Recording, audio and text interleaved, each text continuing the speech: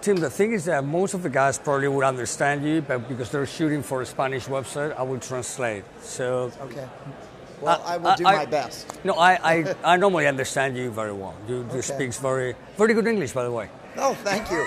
Actually, not clear, but No, it, So, this is where it all begins. Well, technically, on the other side of that wall is really where it begins because that is normally where our rough cut lumber, where the, the wood comes in. So, the raw wood comes in back there. They cut it into its usable sizes, mahogany backs, and of course, we have the maple tops here and up here. Ok, slow down. Aquí es donde empieza todo, aunque realmente Tim me está explicando que donde empieza todo es realmente al otro lado de esta sala, que es donde están los, eh, las salas de corte, lo que llaman lumber, que son los tablones eh, que vienen en, en la madera eh, cruda, las tablones grandes, después de la sala de secado, aquí es donde ya tienen las piezas cortadas para los cuerpos y las tapas. ¿ok? Tienen los tablones que son de caoba, en PRS toda la producción americana son cuerpos de una sola pieza de caoba sólida y las tapas de arce son dos piezas. Entonces aquí podemos. You can show us some uh, tops. And, Yes, well, we're going to get into that in one moment. So, all of the mahogany comes in already kiln dry. So, the mahogany's dry when it comes into our building. The maple is wet. So, what we have to do is dry the maple. This is a single piece of maple that has been cut down and book matched. ok, I will explain that. Toda la caoba para los cuerpos viene secada, viene presecada antes de llegar a estas salas. El arce, en cambio, no, viene todavía húmedo y lo secan aquí en la factoría. Eh, si os fijáis las tapas, lo que tienen lo que llaman books matched, book matched es como un libro, como las hojas de un libro, que se abren e intentan que coincidan las, ah, las vetas lo máximo posible. So the wood is wet. We stack it onto pallets like this with these spacers to let air pass through. Estos- ellos almacenan el, el arce con estos palets con madera en medio para dejar que el aire corra entre ellos y se vaya secando. The pallet of wet wood is loaded into a hot room for three weeks. The idea is if the wood comes in at a higher moisture content of, say, like 19% moisture, we knock it way down, like 6, 6%, very, very low. The idea is it, it dries way out, and then when it comes into this room, it's stored here for about three weeks. Ok, let me explain that one. El arce cuando llega eh, se tiene durante tres semanas. Imaginemos que el, que el arce llega con un contenido de, de humedad de un 19%, lo meten en salas de secado hasta que baja around 6%, you told- you? Yes, knock it down to Lo, lo bajan como hasta un 6%, 6%, 6-7% de humedad, eh, de contenido de humedad, y lo, y lo almacenan en estos palets. Since the wood is more dry, this room is supposed to be 72 degrees Fahrenheit, 50% relative humidity year round. So, since this wood is 50% relative humidity, it does not feel that way in here right now because we've had the doors open. The idea is now it's in this room and it's super dry, it starts taking on the moisture from the room. The wood Will twists, it acclimates, it moves around. The idea is we want it to stabilize before we cut anything. Ok, esto es importante. Lo que hacen es que tra- al traerlo a esta sala, en esta sala la humedad es de un 50% aproximadamente. Como viene de salas muy secas con un 6%, la madera se empieza a estabilizar aquí, vuelve a coger humedad y antes de que pase el proceso de cortado de las, de las tapas, lo estabilizan. Digamos que vuelve a coger algo de humedad. So we have the maple, we grade it. We have like you'll see different stripes like yellow, uh, orange stripes, green stripes, black and red. They're all based off of the grading of the wood. So a single green stripe is going to be non 10 top Ok. wood. Single orange, same thing, west coast, the other's east coast. Bueno, si os fijáis, todas las tapas en el lateral tienen un, un spray de un color, lo que indica es el, el grado, las, las tapas todas se gradúan en función de la beta para hacer 10 top, non 10 top, 5 top, en- entonces lo que hacen es que ponen un código de color con un spray para saber a qué corresponde. Sí, sabes que hay eh, arce de la costa este y de la costa oeste, uno es más blanco que otro. Black and red is artist package wood. That's artist grade. Ok. El negro y el rojo es Artist Package, que es una, una serie superior. Es como sobre un modelo core, digamos, de catálogo, tienes un upgrade que te cuesta más dinero, que son tapas bastante más impresionantes. So we are we are a um, factory, obviously, but we are really I consider us to be more of a custom shop. What I mean by that is, in a perfect world, I feel that a, in a factory you would make 20 of the exact same model, possibly even 20 of the exact same color, and move them through the line. But we don't do that. We have we're trying to build approximately 40 core guitars a day, about 20 Silver Sky, the new John Mayer guitar, um, approximately 10 CE bolt-ons per day. But so in the end, total, we're trying to do 80 of all of the mix of guitars that we make here at this factory. Okay, let me pull that. Um, como Tim dice, esto es una factoría, pero es una factoría muy custom shop. Custom shop significa que en la mayoría de las factorías del mundo, cuando hacen, hacen 80 guitarras iguales de un color o 100 guitarras iguales de un color, aquí se están haciendo aproximadamente 20 Silver Sky John Mayer por día, 20 Core guitars por día, eh, ah, como otras 20 y tantas eh, C24, con lo cual es como digamos un custom shop a gran volumen. Quiero decir que no hacen series muy, muy grandes. En total, hacen, how many guitars a day around? We're trying to do 80 total. That's what we're shooting for, but realistically, we're probably at about 70 a day. Okay, so el, el objetivo es hacer unas 80 guitarras al día, de momento están como alrededor de 70. Intentan aumentar un poquito la producción, lo cual es difícil con unos estándares de calidad tan altos. Pero bueno. So some of the things that you'll see as we go through, we have our normal core guitars, which are the most difficult for the regular shop to make. But we also have our new S2 line and CE24 bolt-ons and the Silver Sky, which is also a bolt-on. We have some construction differences and uh, differences in the materials that allow us to drive the cost out of the S2, CE, and uh, the Silver Sky guitars.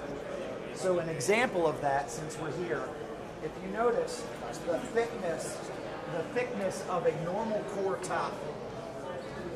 This is the normal thickness. This is the thickness of an S2 or CE24 guitar top. Bueno, lo que está explicando es que eh, la producción de las guitarras core es mucho más eh, cara de, de- de fabricar y si os fijáis simplemente el detalle de una, una tapa de arce de una guitarra core es mucho más gruesa que una, guitarra, una tapa de arce de una, de una C24 o de una S2. Hay mucho más trabajo, mucha más madera y entonces hay mucho más que, que trabajar en la madera. De pulir, de cortar, o sea, por eso la producción core es lo más caro de producir.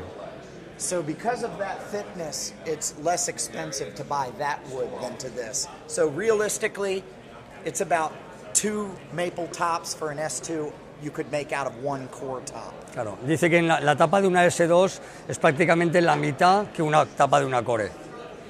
So the first thing that happens is the scheduling team provides the schedule to the body build and the neck team builders. So this schedule is going to have everything that they're supposed to assemble that day. We have a bunch of different configurations of the types of wood, wood we use, but for the sake of this exercise, we're going to talk about a normal configuration chord guitar, which would be a mahogany back, a two-piece maple top, and a mahogany neck. Um, we do use other woods, but Él nos va, nos va a explicar, nos va a explicar básicamente lo que sería el modelo más estándar o más fácil de, de la factoría de producción, que es una- un, un cuerpo de caoba de una pieza con una tapa de arce. Dice que realmente eso es un más complejo en la realidad porque la factoría hace muchos más modelos con otras maderas. Entonces al final el concepto de una especie de custom shop a lo grande es lo que estamos viendo aquí. Vamos a la sección de construcción del, del cuerpo.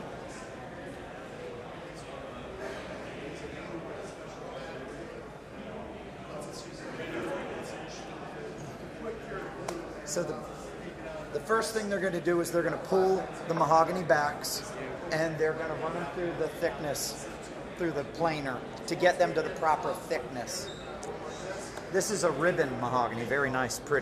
Como podéis ver en esta pieza de caoba, que es muy bonita, le llaman ribbon, con todas las, las vetas, lo primero que tiene que hacer es meterla en una máquina que la- lo que hace es eh, ponerla en la, en la medida que va a tener el grosor del cuerpo de verdad.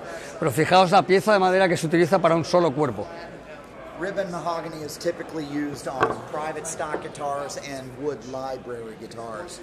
This is an example of a normal mahogany back that's not Esto sería un ejemplo de un cuerpo normal de, de, de caoba que se usa en la producción normal de core. Esto sería un cuerpo de los que se usan en Artist Package o en Private Stock, que tiene más beta y es más bonito.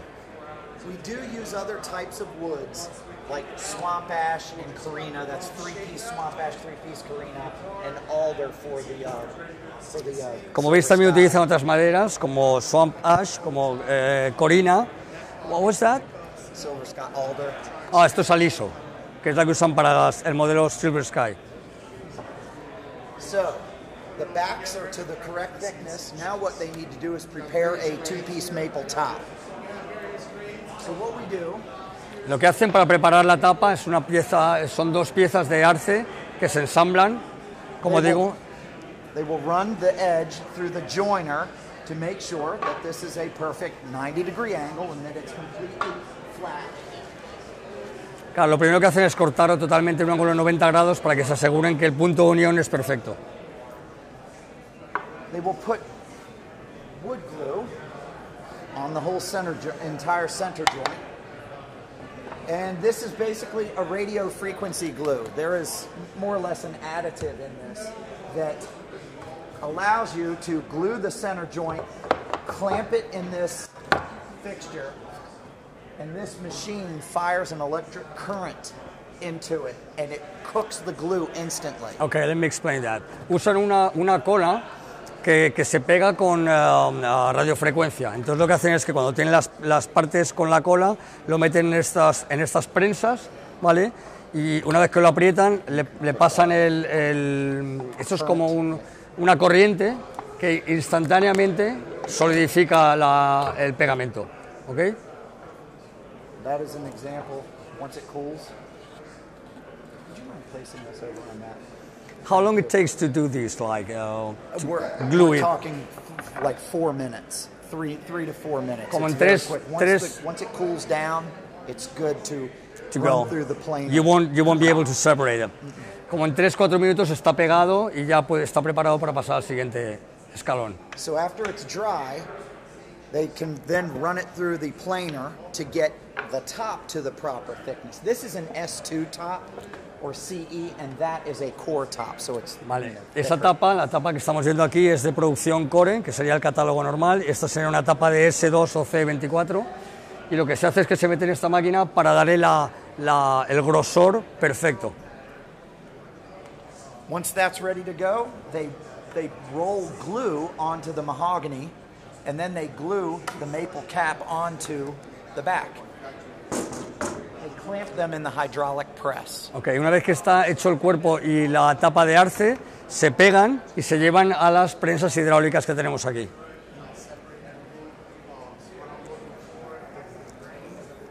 Hydraulic press. We can put approximately seven to eight guitar bodies in each press.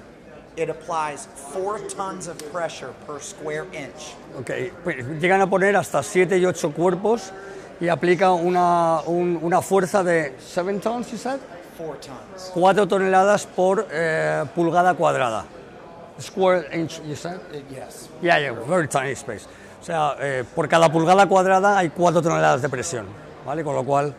We leave them clamped overnight Okay. 24 hours and that is just to make sure that we don't we don't want the binding you know the maple side we don't want any glue bad glue joints ok. Lo dejan 24 horas para asegurarse de que no hay ninguna junta donde se pueda abrir el- el- la separación entre el- la tapa y el cuerpo.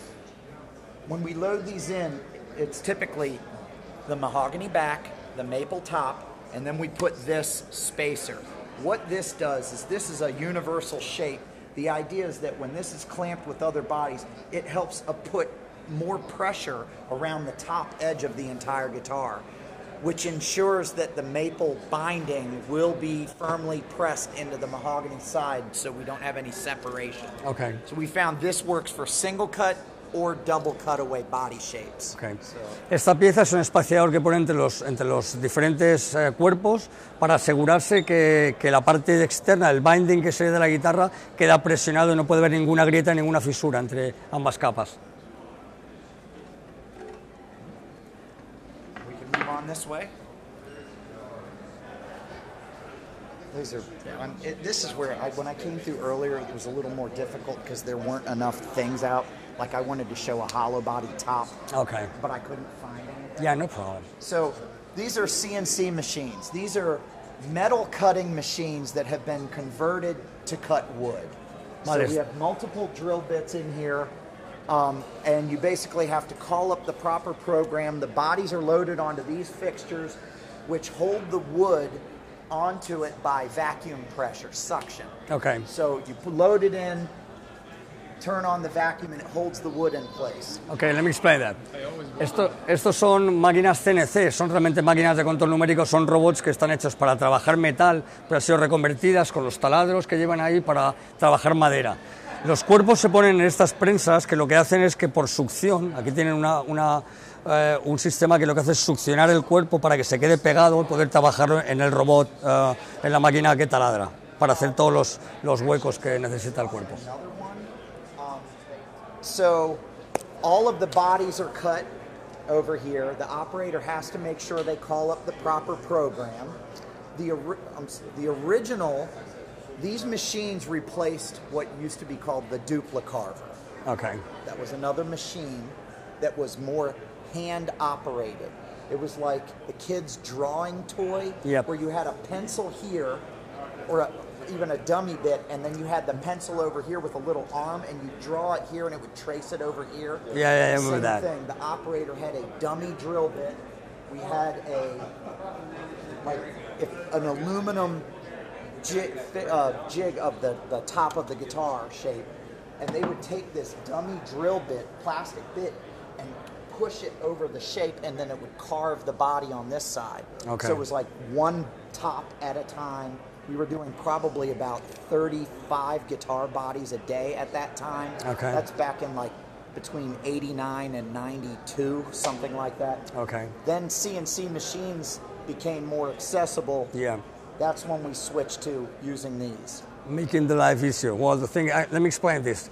En el pasado estas máquinas eh, no estaban, se hacía un trabajo manual que era básicamente como algunos juguetes de los niños que, que tienen un molde aquí y lo que tú haces aquí la máquina reproduce en otro lado. Entonces era un trabajo mucho más manual y para hacer un arctop realmente tardaba mucho más. Desde que tienen las, había que hacer cada cuerpo de uno en uno, mientras que eran las máquinas de control numérico, pues hacer varios cuerpos a la vez. Before we had the CNC, we had to actually make the guitar first. So the way they would do it is we would have uh, private stock people as well as Joe, uh, Joe Nags, who formerly was here. Joe Nags and his team with Paul would basically hand chisel guitar tops.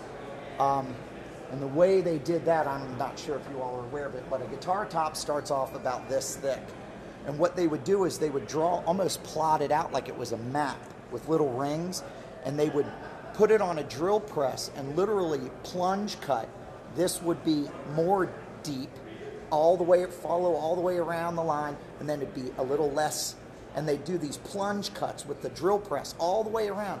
Then they take a chisel and go, beep, and then it would knock it out. Wow. And then you have to hand Yeah. sand it. So the That's first amazing. That, that's how the first ones were done. And then once the shape is right, it can be digitized in the machine, and then every can be cut to the same spec. Wow, that's, that's a good story. En el pasado, gente como John Knox, que empezó trabajando con Paul Smith, hacían esto a mano y hacían literalmente en el bloque que salía del, del primer eh, de corte con la tapa de arce, hacían, dibujaban a lápiz como un mapa, donde luego iban a, iban a ir prácticamente con un cincel cortando, el, el- o sea, delineando el arctop, ¿no? lo, lo que es el, el biselado de la tapa, ¿vale? Y luego tenían que, que- que pulir o, o sea, eh, lijar a- a mano. So what, what year was uh, this type of uh, construction? Well, I, I would say that I started with the company in 1989, and I want to say CNCs probably came on in the mid 90s.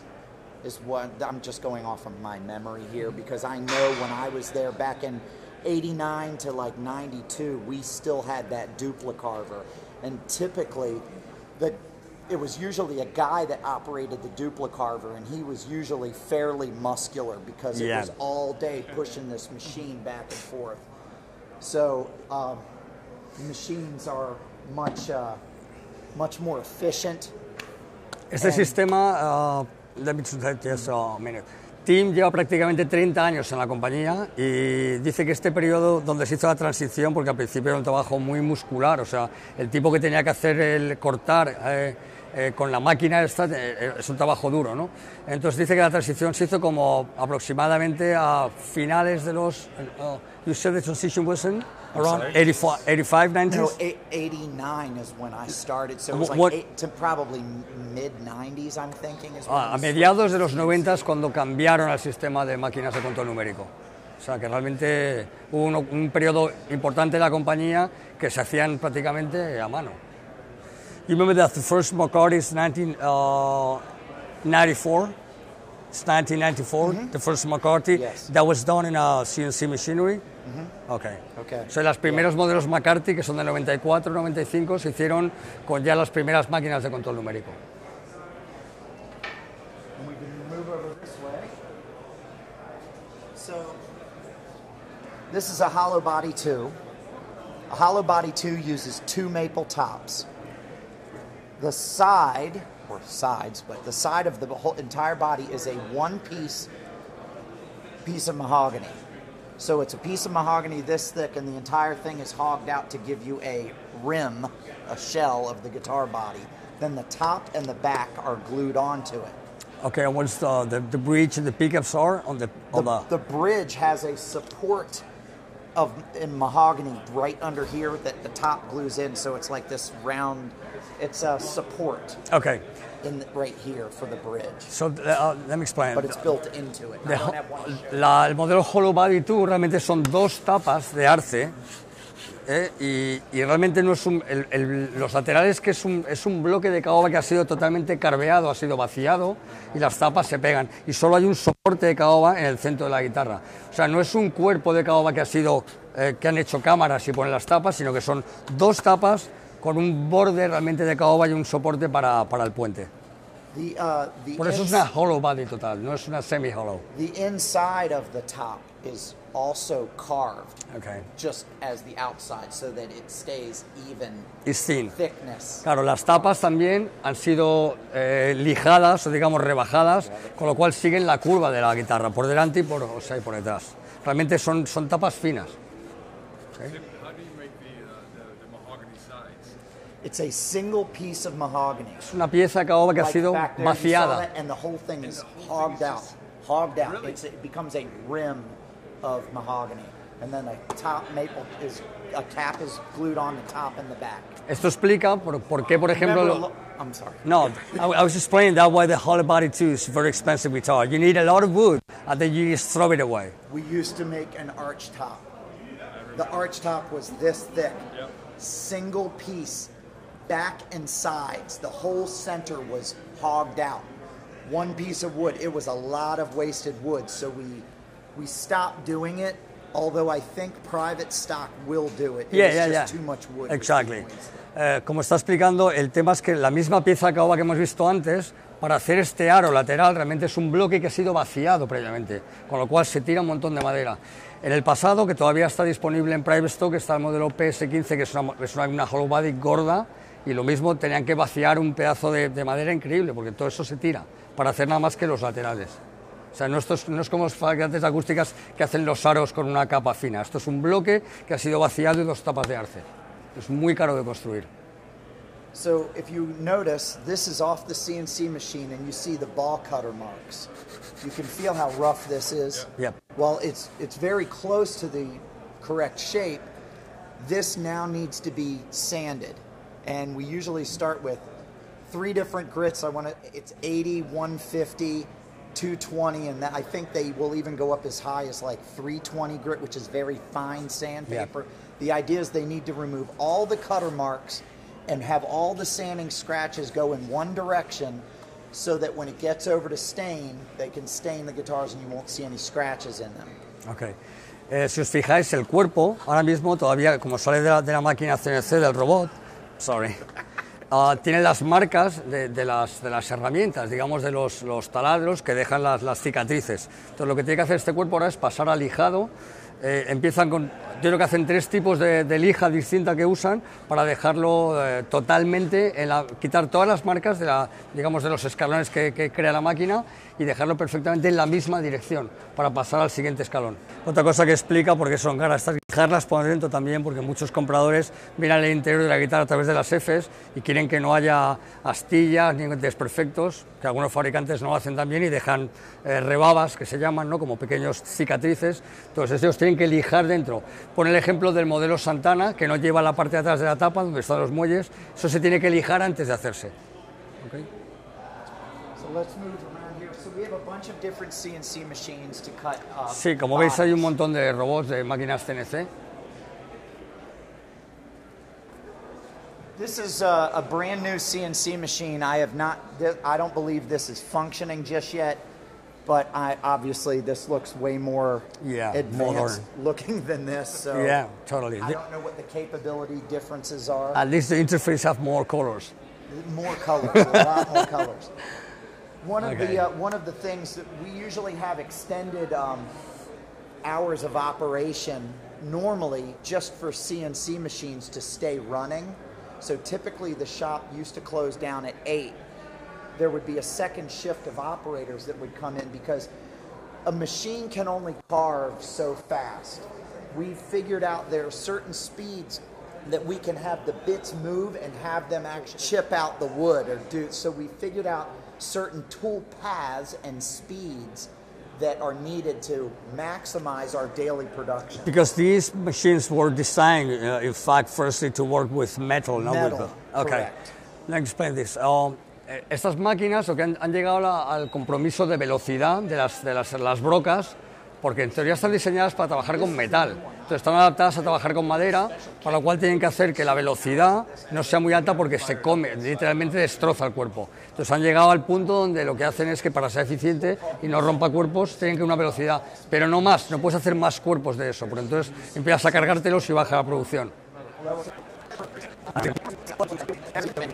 It's a hollow body too, just like what we looked at over there. This one, someone has started to sand it. It still has some sharp edges and things, that so it's not completely finished. The idea is they're going to start. They have tools like orbital sanders and uh, sanding blocks to basically remove all of the cutter marks from the guitar. Um, they have to make sure that the flat areas remain flat and any curved areas have a nice transition of the sanding. Ah, Cuando vamos a lijar un cuerpo, eh, en, el, organigrama de trabajo, la, gente que se dedica a hacer lijado, hay varias gentes en la factoría que hace lijados. Lijados de cuerpos, lijados de los mástiles, lijados de- el- del acabado, que se hace con una lija muy fina y con agua. Lo que, lo que es importante es que este cuerpo que ya está empezado a lijar, todavía quedan transiciones un poco duras. Entonces, todo esto es lo que se tiene que hacer, dejarlo perfectamente la curva, la transición es súper fina. Lo que está hablando Tim, que es muy importante para que la gente entienda lo difícil que es hacer guitarras, es que una persona que, se dedica a lijar cuerpos o mástiles lleva aproximadamente entre seis meses y un año la formación. Seis meses primero hasta que es capaz de hacer el trabajo y otros seis meses de monitorización de la persona que le enseña para, para, que, para que sea eficiente en términos de producción, para que tarde un tiempo adecuado. Estaba explicando que cuando en, el en la agenda de trabajo de cada día tenemos guitarras solid body que tienen solo una tapa de arce, o sea, arqueada, y de repente en, en- en ese día de trabajo te encuentras que tienes una hollow body que tiene dos, tienes que ajustar la producción, en vez de si tienes que hacer siete cuerpos, tendrás que hacer cinco y una hollow body. O sea, eso es lo que te da la agenda de trabajo de cada trabajador. Dice Tim, con buen criterio, que, que por eso intentan conservar los trabajadores, porque realmente encontrar gente que es capaz de hacer un trabajo duro como es este, porque lijar es un trabajo duro y repetitivo y monótono, con la precisión que hay que hacerlo es difícil. Entonces, mantener a la gente en las factorías es, es- es una de las claves de la producción. Y por eso también cuando hay que aumentar la producción es muy difícil conseguir nuevos márgenes de- de producción. ¿Por qué? Porque es, muy difícil pasar de que personas en poco tiempo, personas que te cuesta un año formar, la formación es muy importante. Cuando te cuesta un año formar a una persona, ¿cómo aumentas producción? Es muy difícil. Entonces, esos son las- muchas de las cosas que, los factores que, que afectan a la producción de una compañía, que muchas veces los usuarios finales no tienen en cuenta o que la gente no piensa en ellos, y son la clave de que una guitarra esté bien hecha. Si quieres aumentar producción y, no bajar calidad, te va a costar un periodo de transición importante. Meter maquinaria, meter eh, eh, calidad humana en los trabajadores. Y eso es complicado, lleva tiempo.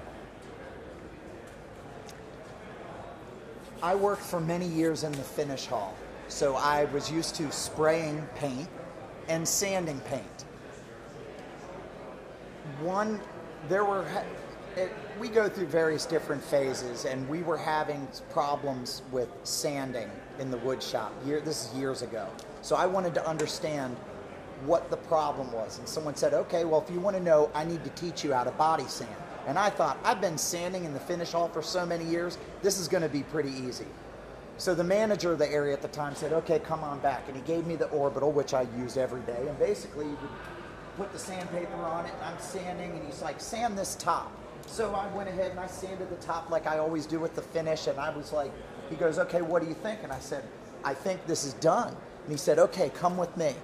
And he walked me over to the bandsaw and uh, cut the guitar in half and said, you failed. You did it wrong. And I said, I don't understand. What did I do? I just spent Oh 45 minutes or whatever sanding this thing. And he goes, You sanded the binding. And I went, What? Oh, you have to throw the guitar away.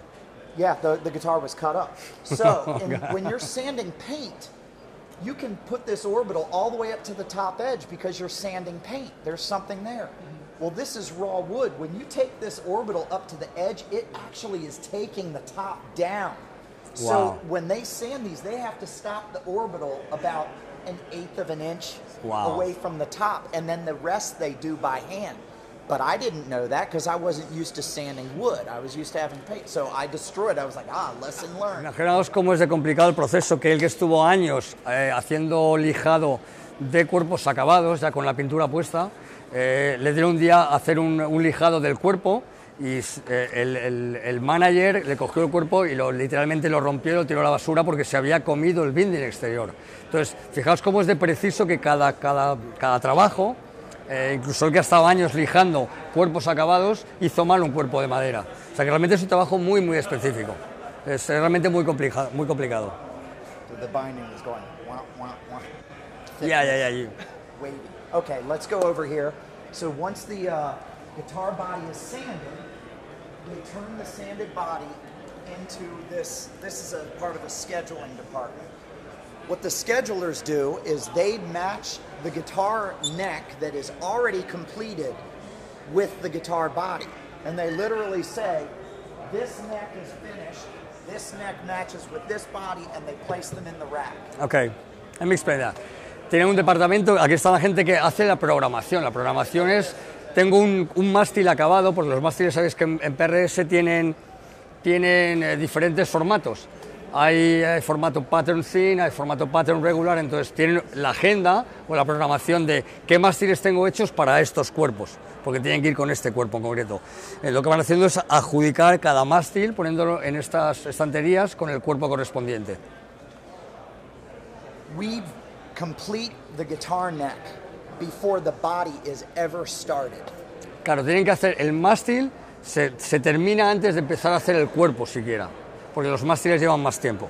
If we had to rush a guitar neck through our assembly line, the, the minimum dry times and everything involved, it would take us about 16 days to make a neck.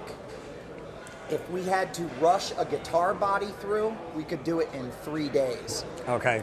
El problema que para, para que la programación y la agenda eh, esté equilibrada, los mástiles tardan aproximadamente.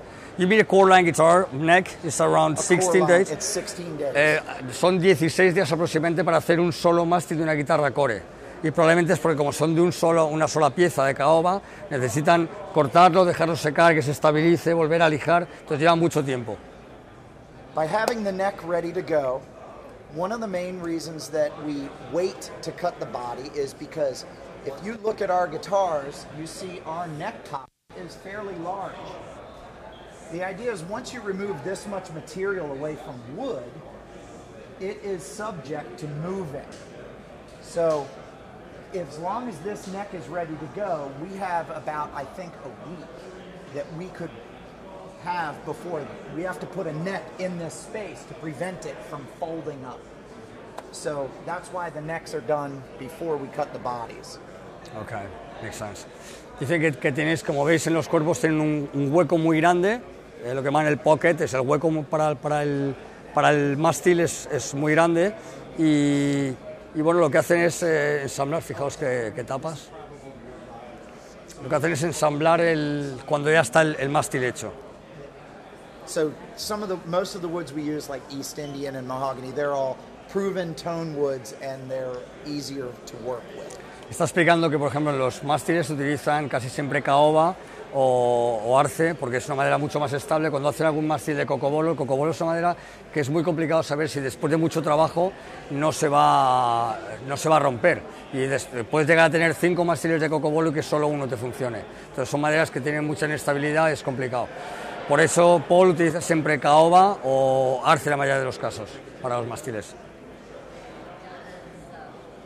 The neck body assembly guys then take this neck and this body and now they have to set the neck into the neck pocket.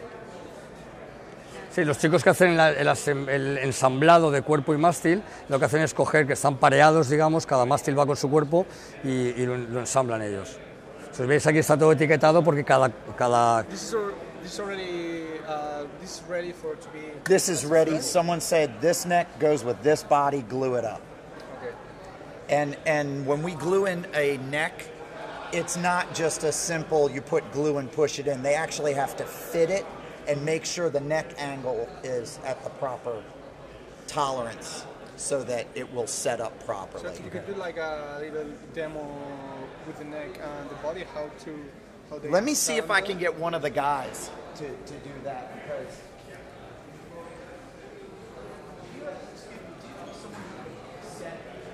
glue it up, but like set the neck into the body pocket. Um, like over here. Rob, you heard that right? Sure. Set the neck in. We just want a, an example of here's fitting it in. I figure I'll do it and I'll get it jammed in.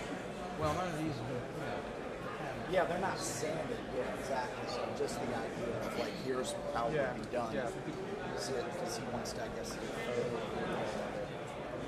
Should I go through a little dialogue, or you just want? you can do like a little. Yeah. Okay, so the majority of the necks, it's a large dovetail, and they're intentionally oversized, so it's an interference fit between the neck and the neck joint. This is typically cut 10 to 5 thousandths oversized of the neck joint, depending on the model. At this stage, someone would have a granite stone block with adhesive back sandpaper on it.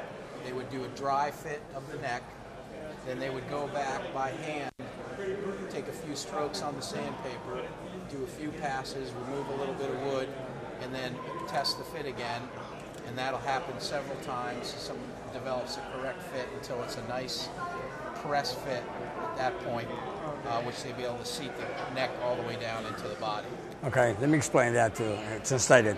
Uh, lo que está contando es que la gente que hace ensamblaje del, cuerpo con el mástil, normalmente cuando están, están pareados, pero el mástil siempre tiene la parte del, ensamble está sobredimensionado, es un poco más grande de lo que cabe en, la, en la, cavidad del, del, cuerpo, con lo cual cada trabajador lo que hace es que va lijando milímetro a milímetro para hacer que hace un lado, hace otro, va probando hasta que ensambla. Realmente está sobredimensionado, lo que tiene, lo que, tiene que ser rebajarlo un poquito para que entre en el hueco. Eso le va a dar mucha estabilidad. Y la transmisión de la vibración también importa, ¿no? que está tan, tan, tan apretado que realmente lo que hace es que transmite mucho, mejor la vibración del, de las cuerdas al cuerpo. Eso es, eso es, esa es la idea. So that process that Rob just described is what they would do right here. En esta, en esta parte es donde se hace ese proceso ensamblado, como veis hay un cuerpo con un mástil. Esto, ahí están los, los, los, tra, los, trabajadores que ensamblan los, los cuerpos y los mástiles.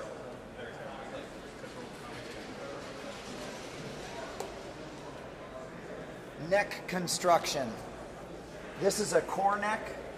These are the S2 CE24 and John Mayer style. Okay. Esto es importante porque es, es, donde está una de las, de las piezas más importantes de la guitarra, que es el mástil. Estos son los mástiles de la producción Core. Todas estas series son S2, C24 y John Mayer, ¿vale? La mayor, la mayor diferencia es que estos mástiles están hechos de una sola pieza de, de caoba. Si os fijáis, esto es solo un bloque de caoba, que lo que ha sido es cortado con el ángulo, entonces el, material que se usa, como veis, tiene un grosor enorme porque hace falta una pieza muy grande para poder hacer este ángulo y de aquí se, empieza a construir el mástil. Estos son los diferentes pasos del proceso, luego se hace una ranura donde va a ir el alma del mástil, ¿vale? Por eso él, explicaba que un mástil de una guitarra core se tarda 16 días en hacer aproximadamente, mientras que un mástil de una guitarra S2 o C24 se tarda un par de horas en hacer. Y después los otros van ensamblados, son dos tablones encolados, como la mayoría de los fabricantes han hecho toda la vida, que es ensamblar o digamos eh, encolar dos tablones con el ángulo. Aquí el ángulo se hace de una sola pieza, con lo cual es mucho más costoso. Una vez que tenemos esta pieza, se pegan las aletas que van a dar en la figura de la, de la pala típica de PRS. El, el mástil no es tan ancho, se le pegan dos aletas laterales y luego se recorta. Como veis va teniendo la forma y acaba siendo un mástil de una sola pieza. Esto es, solo un, esto es un bloque que ha sido cortado con el ángulo, las dos piezas adheridas a los lados, se ve la cicatriz aquí, ¿ok? Y por supuesto los agujeros donde están alojados los clavijeros están en la zona central, que es donde se transmite mejor la vibración, es donde está la pieza única. ¿ok? Lo otro es simplemente un adorno estético. O sea, que este es el proceso de dónde empieza y cómo acaba. Exacto, exacto. Empieza incluso antes en un bloque de madera gigante. The rain is coming. Oh, yeah? yeah, that's why everyone's coming in. Oh my God. Raining outside, so everyone's. Yeah. Uh, okay, let's go. Did you already go Oh, through oh, all no, no, this? okay, let's go and Okay, do the. so I did already You this did one. this. Yeah. Okay. So let's One go with. piece of neck. I know. Right. Yeah. This is an S2 neck. The difference is the core neck is basically one piece. The back of the neck is one piece, mm-hmm. and all we do is glue the little ears on for the aesthetic shape. S2 is different because first of all, the, the piece of mahogany is a it's a thinner piece of wood, which means it's not going to be as expensive as the big hunk of wood that we use for this. And the other thing is we use a scarved headstock, scarved joint on the headstock, which basically enables you, it's a traditional neck joint that's been done forever. So you have this, you cut it at the appropriate angle, flip it around and glue it, and there is your headstock break. So it's a very traditional thing. So an S2 neck is basically three pieces. So you have the headstock, the main part, and then we have a little heel cap that we glue on to make the heel the proper thickness to go into the body. So that is a savings. And let's see where we Let, let- just let me go over it a little bit. Está explicando que en las series S2, Core, eh, perdón, eh, C24 y John Mayer, realmente son dos piezas encoladas, aunque son tres piezas porque como veis el- la parte que hace el taco de contacto, lo que llaman el pocket, o sea, el, el hueco donde entra la- la- el mástil de la guitarra en el cuerpo, es otro bloque aparte que se pega luego, realmente. ¿ok? Entonces, como ha dicho él, se cogen dos piezas que se... Oh, sorry. That's okay. Oh my God. It's okay. You're already low. se, se cortan estas dos piezas, se le da la vuelta y con esto tienes el ángulo de la guitarra de la pala, ¿ok? que es el método tradicional de hacer una- un mástil de guitarra. La mayoría de constructores, Gibson, todo el mundo ha construido guitarras así, con una, una pala encolada con el ángulo. Sorry, I just No, no, you're good. It's okay. That's a sample, I know. Doesn't matter. So, um, did you talk about the dual action truss rod? Yep, yeah, okay, yeah. Same thing. Dual action truss rod. Insert. They make sure that the rod is inserted properly and sealed with this little insert that's glued over it because you don't want this sound. Let me see if I can do it. Here it's clacking, it's like rattling. That means that this truss rod is not seated all the way properly in the channel. That means even if the truss rod functions, when you play it, it will probably vibrate, and the amplifier will probably pick up that sound, which Okay. means that guitar would have to be cut up. Okay. That can't be fixed. Está explicando que cuando tienes eh, el alma, el alma es un alma de diseño que tiene doble acción. Eh, diferente a otros constructores, este alma va para los dos sentidos, ¿ok? Entonces lo que hacen es que eh, tiene que estar bien apretado en posición para que no vibre el alma dentro del, hueco de- del mástil. Está haciendo así para que se vea que el alma no se mueve, no, digamos, no, eh, no vibra, ¿vale? Porque si no eso se va a pasar al amplificador. Eh, lo que está explicando es que el mástil de la S2 eh, es un mástil que se hace, como hemos dicho, con dos tablones encolados y el total de una guitarra core aproximadamente está diciendo que con el im- implicando el secado, el- la construcción del mástil, eh, puede llevar como unas 24 horas, 26 horas hacer una guitarra core, mientras que una guitarra S2 puede estar en torno a unas 6, 8 horas, lo que es de fabricación. O sea que estamos hablando de casi tres veces más que una guitarra core.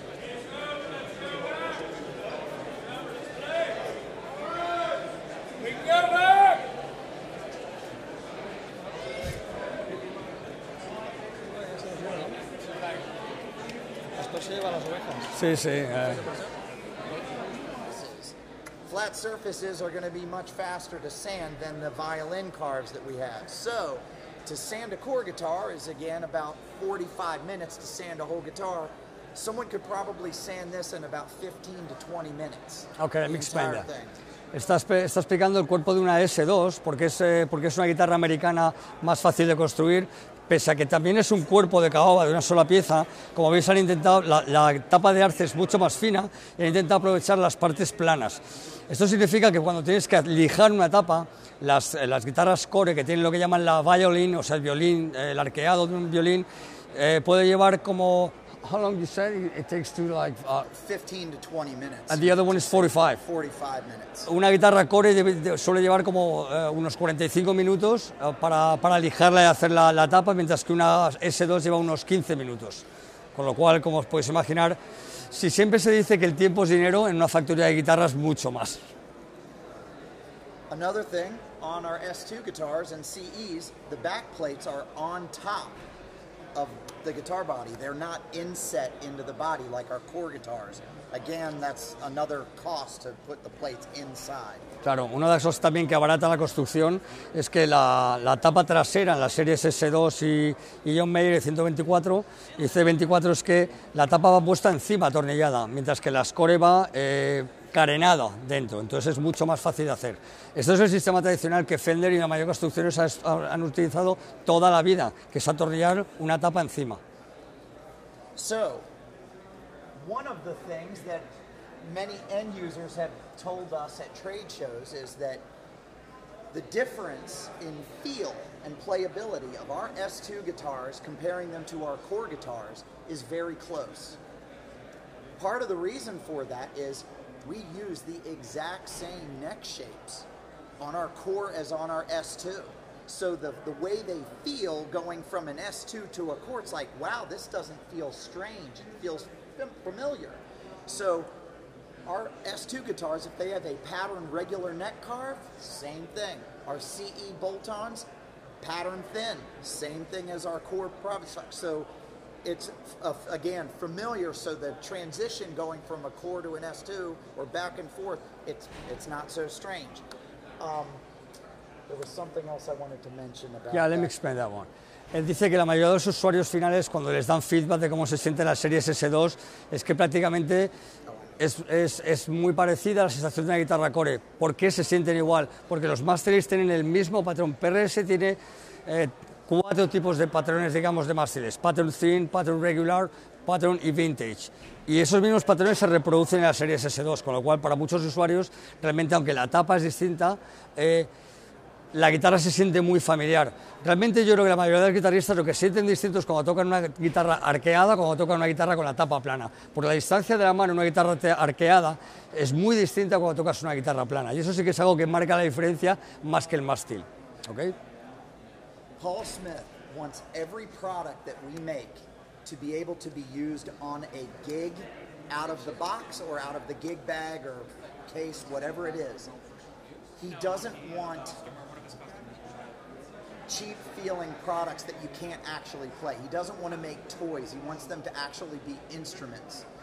And I know there are a lot of guitars that are made all over the world. Some of them are great, some not so good it's consistency.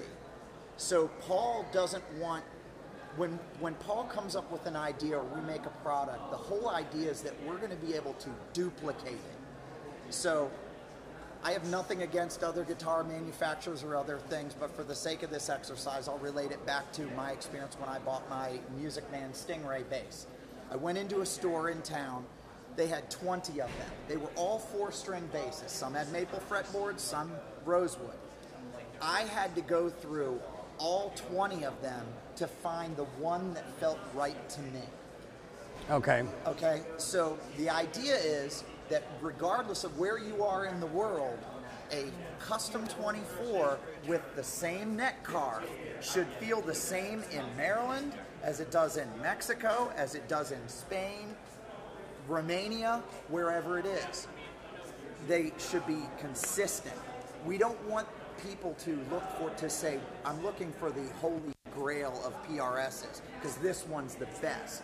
We want to be able to say, this one was we tried to make this one the best and look, we duplicated that over and over again. Ok. Um, So, la, la idea es que, él lo que dice es que Paul es una persona que lo que quiere, su intención es que cualquier guitarra, cualquier serie, sea capaz de, funcionar según las sacas de la caja, según las sacas del estuche, esté preparada para sonar y para, estar a un nivel profesional. Y te puedas hacer un bolo, puedes hacer un concierto con ella.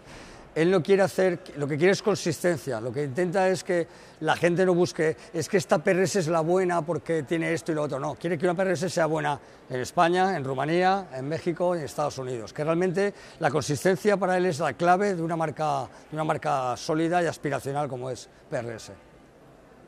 We can move on. Yeah, sure. Where are we going now? Uh, we're going to go back through uh, the neck area here. Okay. All of these, these are Silver Sky, John Mayer guitar necks. Um, everything, the, the birds are a little bit smaller, and everything on this neck is to John Mayer's. Todos estos son, son mástiles de la Silver Sky de John Mayer. Si os fijáis, los, los pájaros son un poco más pequeños, el, el patrón del, del dibujo del pájaro, el inlay, y todos los mástiles son con las especificaciones que quería John Mayer. De hecho, ha sido muy comentado el tema de la pala al revés, que mucha gente quizá lo que no sabe es que cuando él diseñó este, este mástil y esta pala es porque esta curva eh, es más grande porque él como siente su Stratocaster del 63-64, tiene esta curvatura y sus manos son grandes y quiere tener esta sensación. Entonces no es solo una pala PRS dada la vuelta, sino que es algo más que eso. Ha habido mucho trabajo en este mástil para hacer lo que sea con la sensación que John quería de, de- de un mástil vintage con radios 725 pero que funcione muy bien.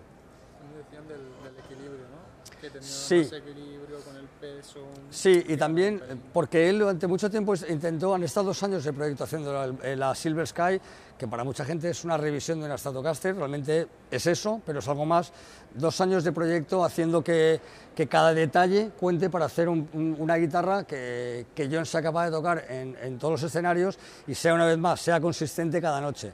Cuando tú llevas una guitarra original 63-64 por el mundo de gira, con cambios de temperatura, de humedad, eh, hay problemas. ¿no? Y aunque lleves un buen técnico, lo que quiere es que cada noche su guitarra se sienta igual, y eso es importante.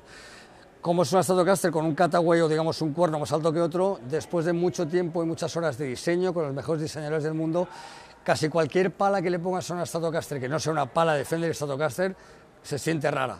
Esa es la verdad, por eso mucha gente lo critica. La realidad es que esta pala eh, tiene un ángulo, como las mayores PRS, que ayuda a la afinación, porque cuando la cuerda tiene un pequeño ángulo, ayuda a que esté bien afinada y las cuerdas salen muy rectas, prácticamente rectas desde la cejuela a, los ligeros. Em, este es un mástil de arce, que normalmente sabéis que PRS los hace de caoba, pero bueno, para una guitarra como la que quería John Mayer, esto es el material. Es rosewood, es palo santo en el diapasón, y bueno, simplemente tienen los inlays distintos. El pico es más alto y está, eh, lógicamente el pico de la Stratocaster, el alto está en este lado y el corto está en este lado, con lo cual lo tenía que hacer al revés para que tuviera una especie como de equilibrio. When we're planning our product mix for what production needs to build, we have to take into consideration whether it has a maple neck or a mahogany neck. It is much easier to sand an, a mahogany neck than a maple neck because maple is so much harder. It slows the sander down. So much like the body sander, if they have to sand 15 necks, I'm just throwing a number out, 15 necks, all mahogany, they could probably do that and go, okay, this is a normal day. But once you have maple necks and then the rest are mahogany, it's going to take, yeah, the, the numbers all of a sudden start to go down. So they actually have to plan that to say, okay, we can do, we can do 15 maple necks, and then the rest of the 40 will all be mahogany necks. They have to consider that because we don't want to set goals on production that are completely unrealistic because then all that means is you're going to fall further and further behind on your schedule for the year. Bueno, está explicando que la programación, una vez más, como ha explicado con los cuerpos, dependiendo del material que tienes que lijar, la diferencia es importante en, producción, porque lijar un mástil de una, de una Silver Sky un Meyer que es, que es arce, el arce es mucho más duro que la, que la caoba, con lo cual lleva mucho más tiempo. Entonces, cuando, cuando un- una persona que se dedica a lijar mástiles tiene su programación diaria, digamos, en su agenda, tantas unidades, cuando de repente está, entra esto en juego, la producción va a bajar. Parte de los problemas que tenemos ahora mismo, que son muchos valores que los modelos Silver Sky vienen porque todo esto afecta a la producción. La gente muchas veces no piensa que fabri- fabricar guitarras es, un, es una cosa muy compleja y todos los equilibrios, en cuanto metes un material nuevo en la cadena de producción, afecta al número de unidades que puedes hacer. Es así de, de complejo. Y eh, estos, para, estos, estos son el, el día del Experience, durante la, la fiesta del Experience que se hace cada dos años en la factoría. Hay público final que viene y algunos de ellos se dedican a, a tintar, a teñir trozos de madera que luego se llevan a su casa y experimentan con los colores. Y, eh, está muy bien, o sea, realmente es, es, eh, abrir la fábrica para que la gente pues, tenga la experiencia ¿no? de, de la factoría de PRS. So I'm guessing someone will come back and collect these like souvenirs. Yep.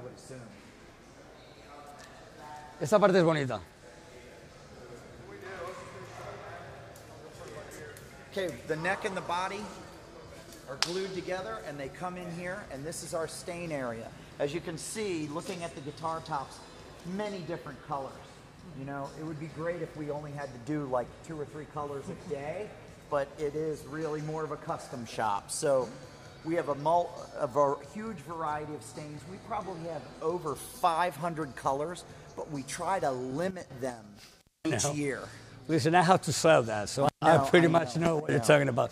Está explicando que realmente cuando ya los cuerpos y los mástiles ensamblados y lijados vienen a, a la zona de teñido, de tintado, y como está explicando Tim, la verdad que nos encantaría tener menos colores, pero el- la paleta de colores disponibles es como de unos 500 acabados distintos, lo cual la verdad que eh, hace muy complejo el catálogo, pero también da muchas opciones a los usuarios. Eh, realmente los colores son increíbles.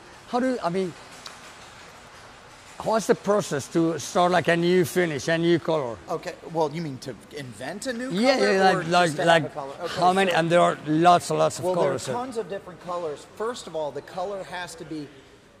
We want the color to look good, regardless of what the shade is. But the other thing is, we have to make sure that we formulate it so that it can be repeated by anyone, Okay. not just the private stock guy. Yeah, And we also need to make sure that it doesn't fade.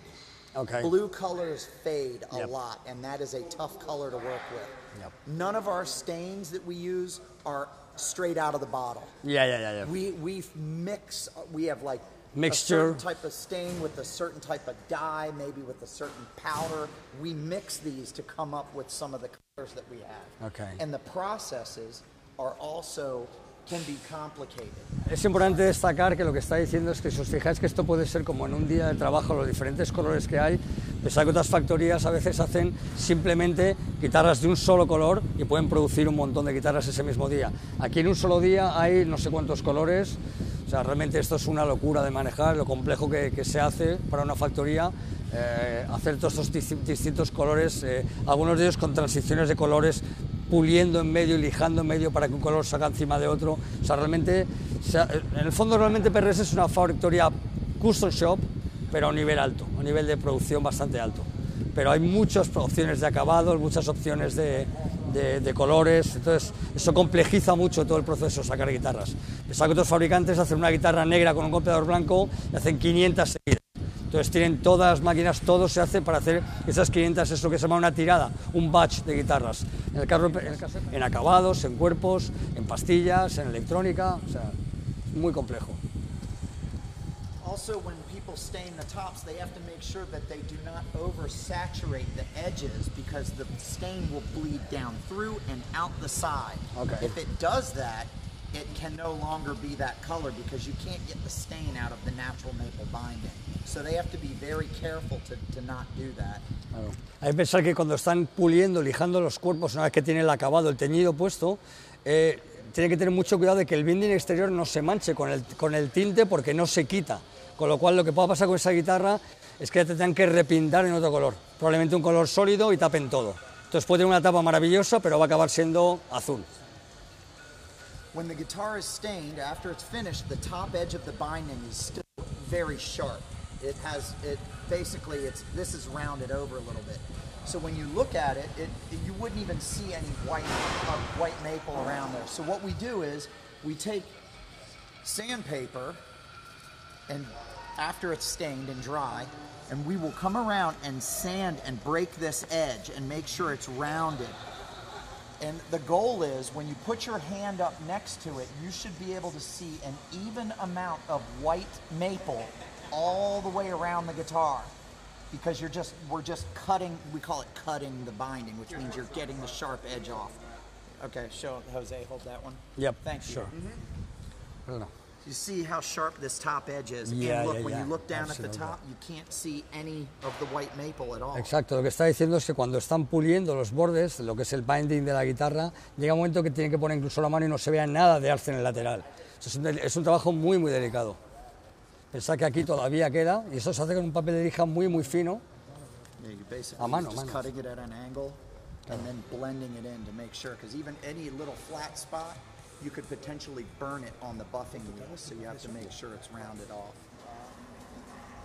So the, the silver sky necks are all nitrocellulose lacquer and they're high gloss. So they actually have to buff them after they're sprayed and everything. They have to buff them all out. Yep, Our CE necks, they use a UV filler on them. yep, yeah, yeah, that's true.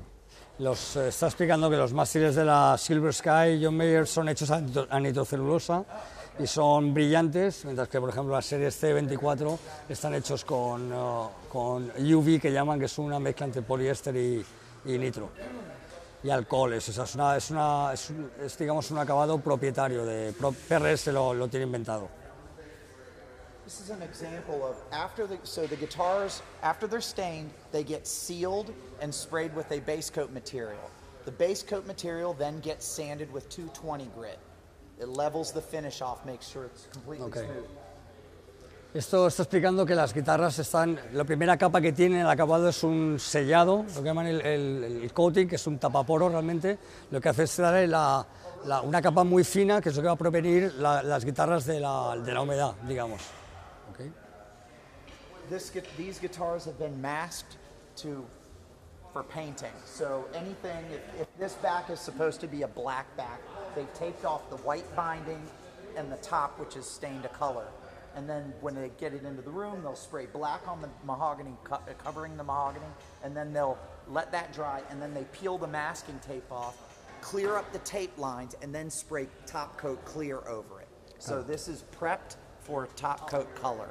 Este, esta primera eh, acabado que se da de tapaporos, ahora sí se lija. ¿eh? Por ejemplo, si la, la guitarra va a tener el cuerpo de color negro, lo que se hace es que se pone,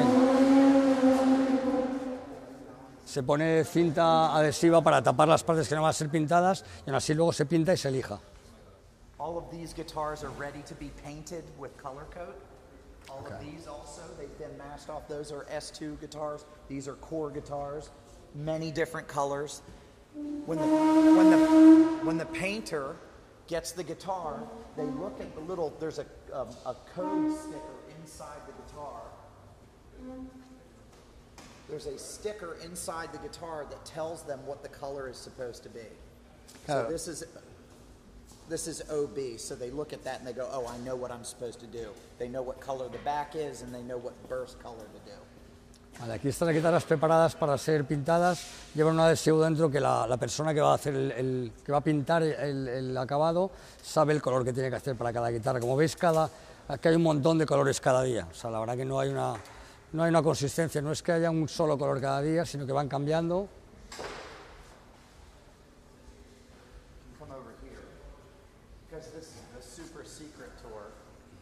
This is uh, this is private stock. This is some of the private stock finishing. Okay, how, how many people work here? Again, private stock total is between 8 and 12 people. Private so stock- it's a small dedicated crew. So right now, you could probably have a private stock built quicker than you could a core guitar order because Okay. there are way more core guitar orders. Ya. Ahora mismo hay muchas más guitarras pedidas, eh, pendientes de entregar en la serie Score que en Private Stock. Private Stock, de todas maneras, es, es un equipo muy pequeño, son entre 8, 10, 12 personas y esta es la parte que tienen para, para hacer sus guitarras. Aquí es donde empieza la parte increíble de esta factoría. It's just a piece of wood the way it was, and they literally stained it. Esta va a ser una guitarra multiescala. This is a multi-scale guitar. Is it? I think don't so. know. Oh, it is. It's Yeah. a fan fret thing. Entonces, si os fijáis, tiene una parte del mástil con los trastes más separados que la otra, probablemente sea una, una escala Isn't that crazy? 27 a 25, con lo cual tienes como, puedes tener un barítono, la tensión de las cuerdas gra- graves, son multiescala. multiescala. Wood. They, I mean, they painted it, but that is natural wood, and they said, "Hey, let's stain this section and the Yeah, but part." how did they select the, the section to stain? How did they this? Oh no, no, no! It was just the natural wood, and they decided, "Hey, we're going to do all this spot in red." La, la the madera, other." ya es, la madera ya es así, lo que ha hecho es natural, o sea, no está pintado, sino que este trozo It's a el resto. piece of wood. That's all. It's a piece of wood that just you know happened to be. We, sometimes we get tops that are really strange, and they can do some really neat stuff with them. But it's an exception. That's not the norm. Yeah, yeah, yeah, ya. This Gotcha. is an example that I want to show you of the staining capabilities. That is all stained. That is not sprayed at all. Claro, eso está teñido, está It's hecho a mano. stained and they fade it and they sand it and they do a bunch of different Y things. hacen la honestly, I don't even know, but Dice que casi no sabe cómo lo hace. thing to do. This is like so they're very, reverse- very talented. Teardrop, Exactly. Yes. right? Yeah. And they, I've seen them do it where it looks like I thought they sprayed a sunburst on the guitar, and none of it was sprayed. It was all stained. They faded the entire thing. Sí, lo que está explicando es que no está hecho con spray, sino que la técnica es teñido con una almohadilla, realmente van eh, tintando, ¿no? Tiñendo la, la madera con, un- con una especie de algodón o de, de al- de esponjita. Isn't that crazy? That's just the wood. Ese es el, el patrón de la propia madera, simplemente ha sido teñido y sale ese, ese patrón. La madre que la parió, mire ese fretboard. You put a, a flattening agent in the paint and you spray it and right off the gun. It dries and you don't touch it. However, you have to worry about the paint gun having a El Tim lo que está explicando que realmente esto es como un custom shop, toda la factoría, pasa que esto ya es rizar el rizo, esto ya es una movida...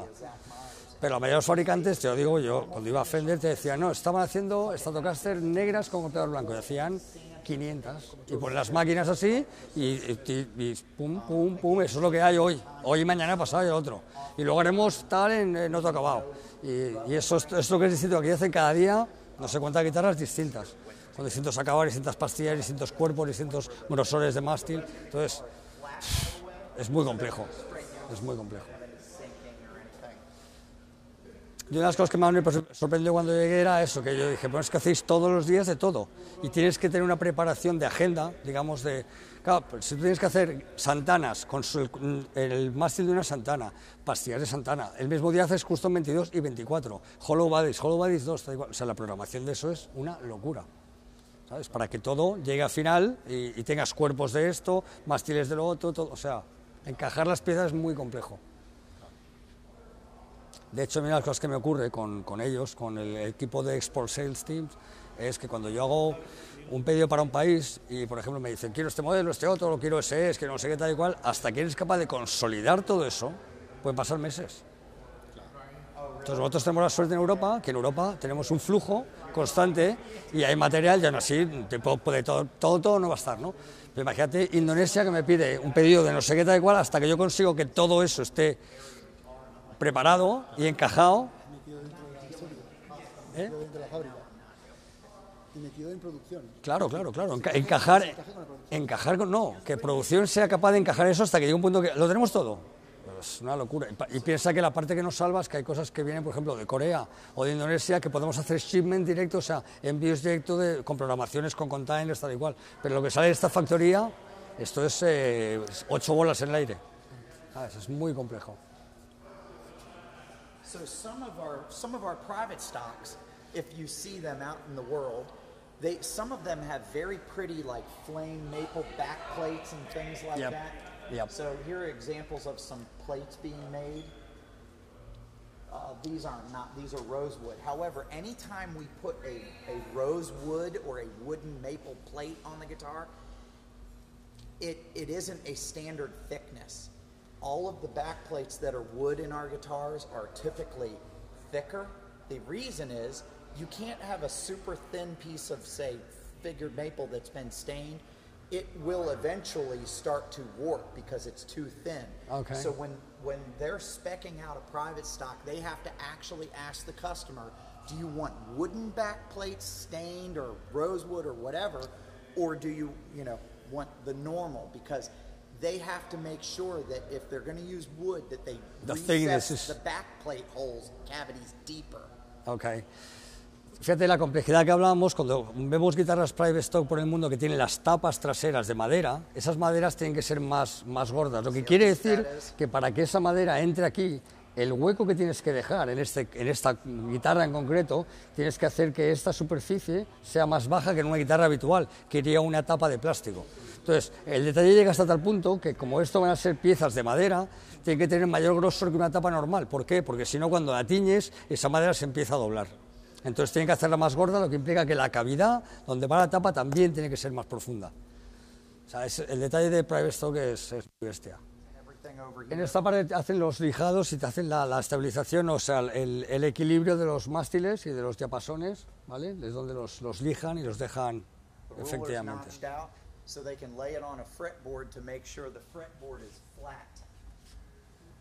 This probably won't work with this, but they, it goes over the frets so they can make sure that when they're, it's the wrong scale, but anyway, you get the point. Yep. They do this so that they can make sure the wood is flat before they start working on the frets. They want to make sure the next level before they do that. So Lo these que are quiere some decir of es the que- tools that we make or have made. Tienen algunas herramientas que les permite ver eh, la, la precisión que está hecha el mástil antes de empezar a trabajar en él. That's for a 25 and a quarter inch scale length, which is why that didn't Yeah, work it on that didn't because work. that's 25. Yep. Um, let's see. So over here, this is where they they final prep the guitar. After they spray color on it, they have to peel all the fine line tape and masking paper off of it. They handwrite the serial number on the back of the headstock, and then Okay. it goes into this top coat spray room for clear. Ok. O sea, en esta parte, toda esta, todo este área lo que hacen es quitar las cintas que han puesto para prevenir eh, cuando pintas las partes que no se pueden teñir y de aquí pasamos a la zona de a esta sala que es donde está el, el, um, el acabado, la- el, digamos la segunda capa que, que por encima del, del teñido de la- de la- del tapaporos. Is not quite as good as it is out here because the air spots. Esta parte de la factoría, que si os fijáis el aire está más limpio y aquí es donde eh, se marcan los posibles defectos que hayan para volver a pulir las cosas que han quedado mal en las tapas. Se marcan y se inspeccionan todas las guitarras y, y se marca donde tienen que, digamos, hacer las reparaciones. This is the dirtiest room in the building. This is the buffing room. Vale, esta es la sala de pulido. Dice que estas salas de pulido, también antes tenían tres partes donde hacían pulido, con lo cual había tres oportunidades de quemar el acabado, porque cuando estás puliendo, eh, las máquinas tienen, tienen mucha fuerza lógicamente puedes llegar a quemar el acabado. Y realmente una de las ruedas pule y la otra es simplemente quitar el polvo. The guys that do this are also extremely skilled because I've seen a guy, they can buff out a guitar in like 20 minutes. And not only can they buff it, but they do it with style. Yep. They'll sit there, they'll put their finger in the back plate and spin the guitar around on their finger. No so they'll way. buff it on the body and they'll go whoop, spin it around and then buff the headstock. They're like really, it's it's Wow. pretty, they're really good That's because some of them insane. have been doing it for quite a while. Dice que la gente que hace los pulidos, que realmente son casi artistas, cómo manejan los cuerpos y son capaces de hacerlo con, casi con arte, ¿no? Sí, sí, sí. But this is definitely, I mean, this is the kind of room when you work in here, you better put on Yeah. co- head coverings because you will get wax on everything. You'll get in your car, it'll be like your skin, you know, you have to cover everything up. Sí, la las personas que trabajan aquí van cubiertas hasta arriba porque realmente te, te llena el... It is a tough la- job. Es un trabajo duro y muy, muy especializado. I think this back here was, and um, let's see. So after the guitar goes in for buffing, it comes out here where they wipe it down and they check it over. If it looks good, they send it over to assembly. If it doesn't look right, they mark it up with grease, grease pencil and put it back up here, so then the buffer can come back and take it in and spot buff those those areas. Sí, antes nos preguntaban que, que- que quién es el que da o, o quién, quién ve qué, qué pasa en cada, en cada, digamos, en cada paso de la fabricación. Entonces, en cada, en cada, digamos, área hay un manager o alguien que revisa, que inspecciona el material. Si la guitarra, por ejemplo, tiene algún defecto, se marca, como veis aquí, para que se vuelva a pulir o se repare el defecto que tienen. Si no, pasa a la sala de ensamblado, que es donde pondrán la electrónica y uh, final assembly. Then we go to electronics. Yes, we'll head over there. Claro, que, So we have many different parts. They use the Modcat sticker in the guitar to know what parts they're supposed to be. Okay. Which is mainly what are the electronics. A lot of times you can tell just by looking at, at the guitar. sticker, Yeah. it's a sticker inside. But it also tells them what color the hardware is supposed to be. We have three different types. We typically have nickel, gold, or hybrid, which is a hmm. mixture of the nickel and gold. So they have to make sure they put the correct hardware on the guitar.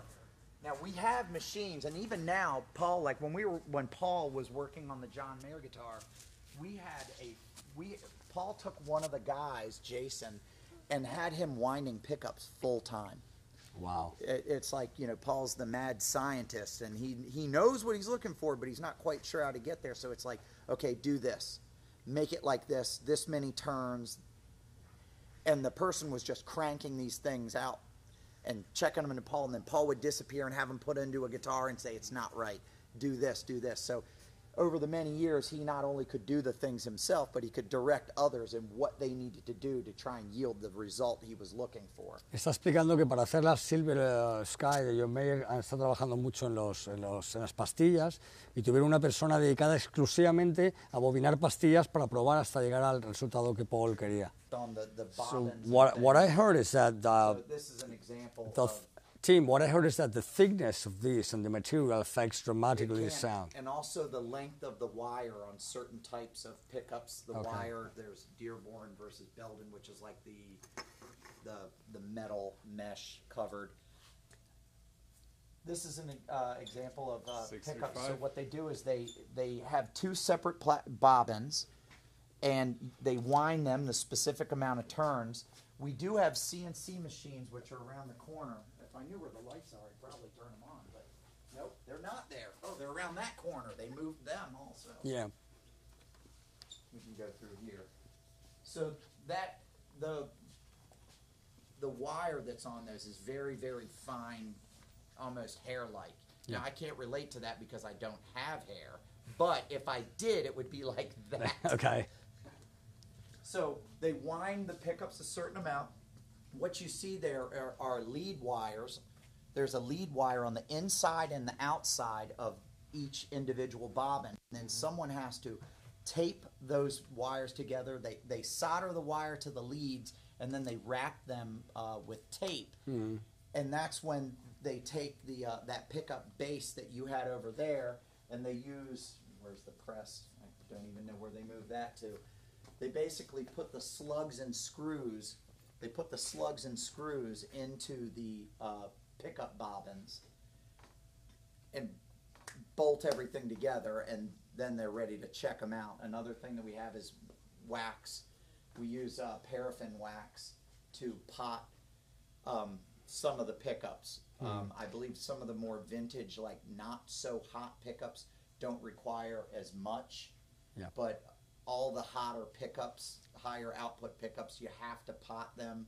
At least we do. My experience, we you do, or otherwise the pickup will just squeal out of control and will be too microphonic. Okay. Um, I know that a lot of really old vintage guitars that sound super cool were wound so they're they're not so hot, but they also can you know squeal and have a lot of things. And I know that you know over these many years, Paul has looked at many different pickups, like how do you make a single coil not have this hum? How do you make a soap bar not have the 60 cycle hum that they have? Yep. Um, and he's done that. That Paul's guitar here at the show. PRS llevan pastillas hechas aquí en la factoría. O sea, hay algún modelo que lleva Seymour Duncan o algún artista que quiera algo muy específico, pero todas las, todas las guitarras PRS, todo, todo se hace en la, en la propia factoría. O sea, que fabrican, no montan pastillas de un fabricante y, y- y las montan en... Y, eh, ya, ya, ya. taped. Están los artistas ahí que van a salir a tocar ahora. Y entonces todas las pastillas las hacen eh, aquí, las hacen en la factoría.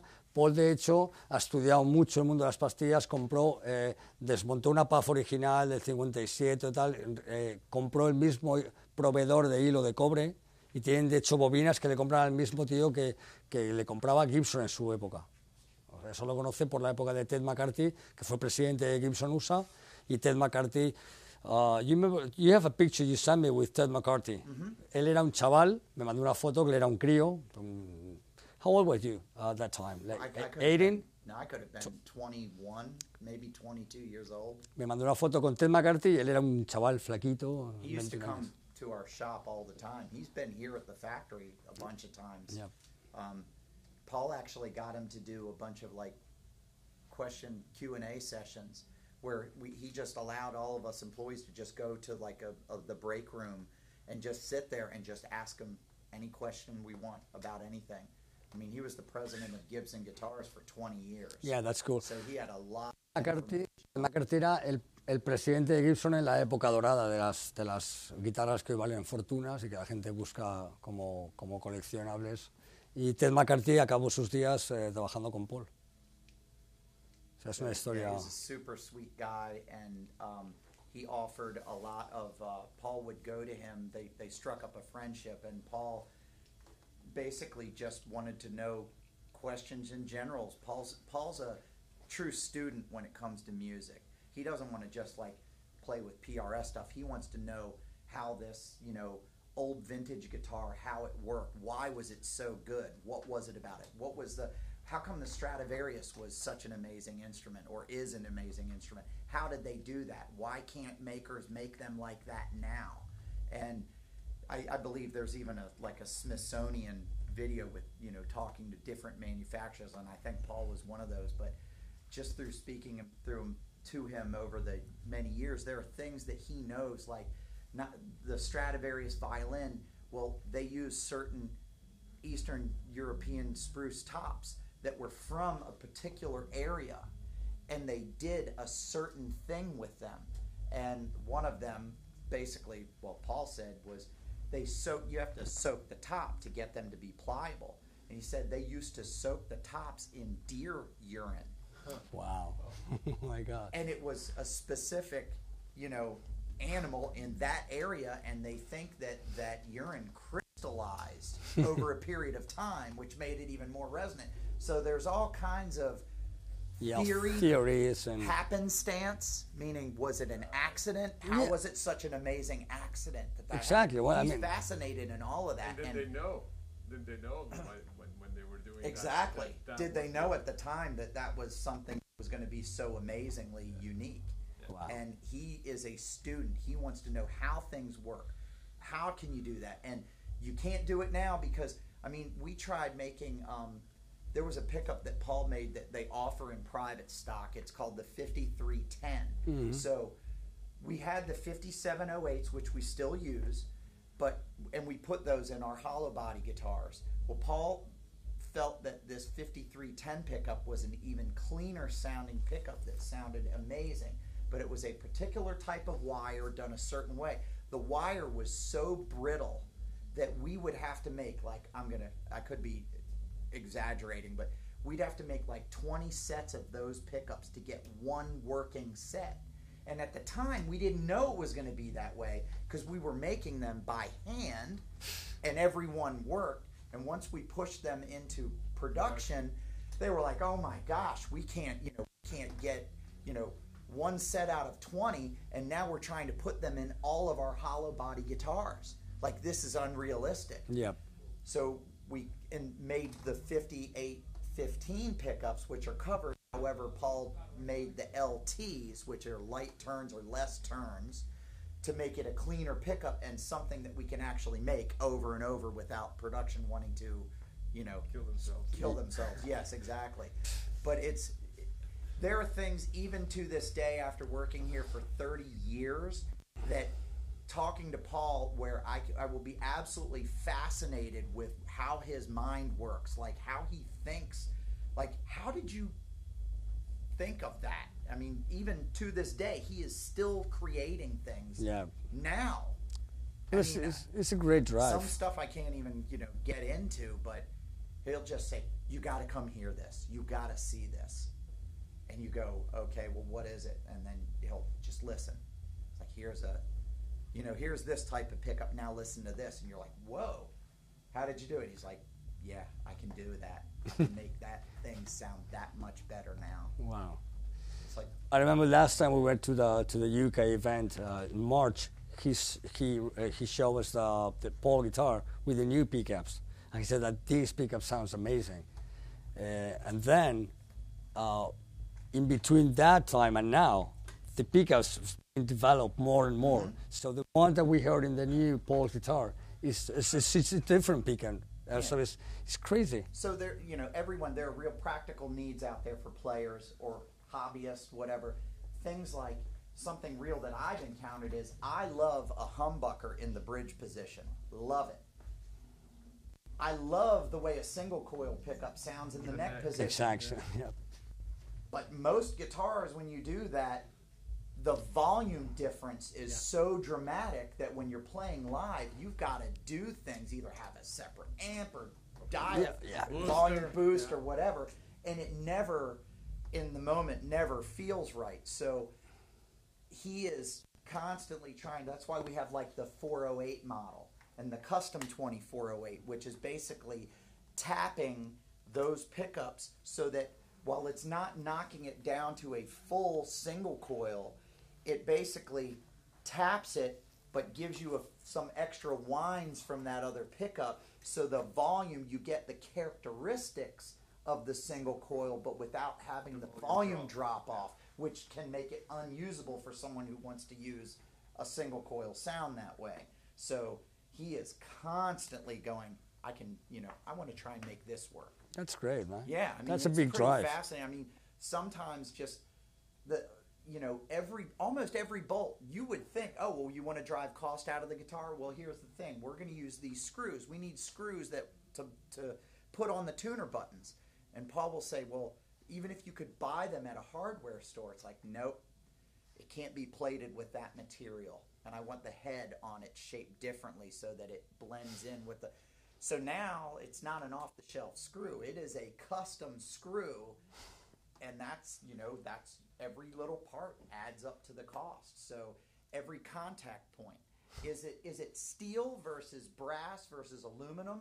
And those combinations with certain pickups with certain wires, contact points from the, the types of the wells that are in the body, all of that stuff makes the instrument resonant with and without the amp. And he looks at all of that stuff. It's pretty amazing.